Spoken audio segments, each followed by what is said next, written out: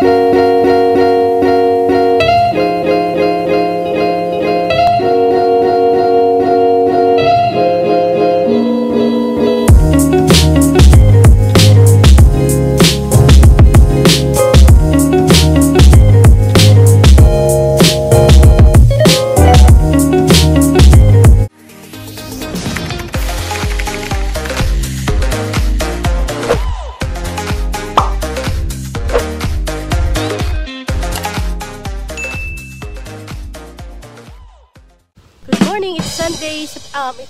Saturday, September 7, and I'm on my way to Sherwood Hills sa Dasmariñas kasi sabi ko nga sa inyo kahapon may racket si Inday.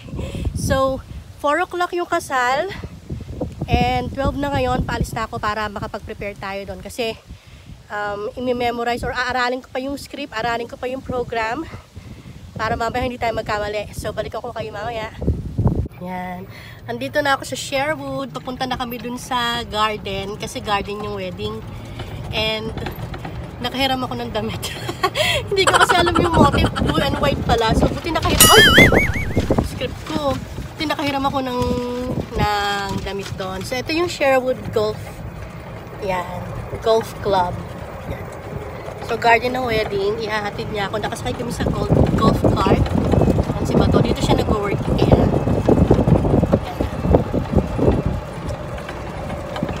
So, mamaya pakita ko sa inyo mamaya yung lugar. Pag dito ang daan.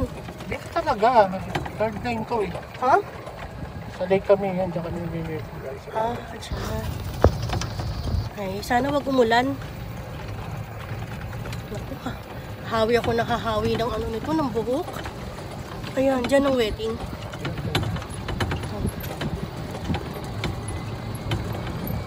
Diyan na ba yung bride and groom? Doon sa... Ina nila.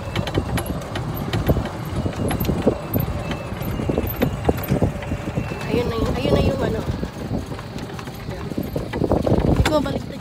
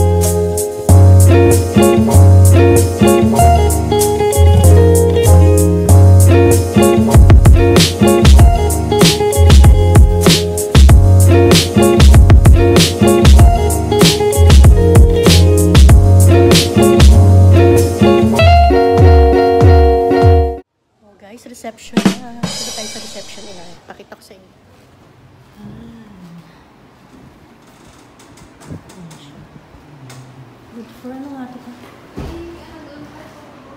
Ah, ito yung buffet area. Hmm. Actually, simple lang po wedding mo.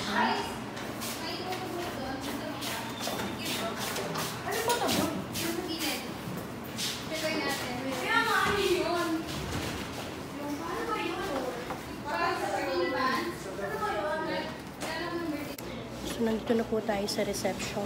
Um, Nagsa-set up na po sila. And nasa labas po yung couple. Ayan yung setup. Ayan. Ano?